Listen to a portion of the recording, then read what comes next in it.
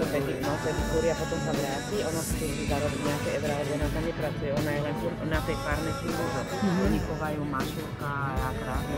On tam žije tým spôsobom ako no. prvú, to teda tradícia tam držala. Ja pýtam, že ako môže tam žiť, že teraz je, že sa niečo stane, že okolie, že nás tam neplatia, ani krávy, keď bude tam, tak bude robiť.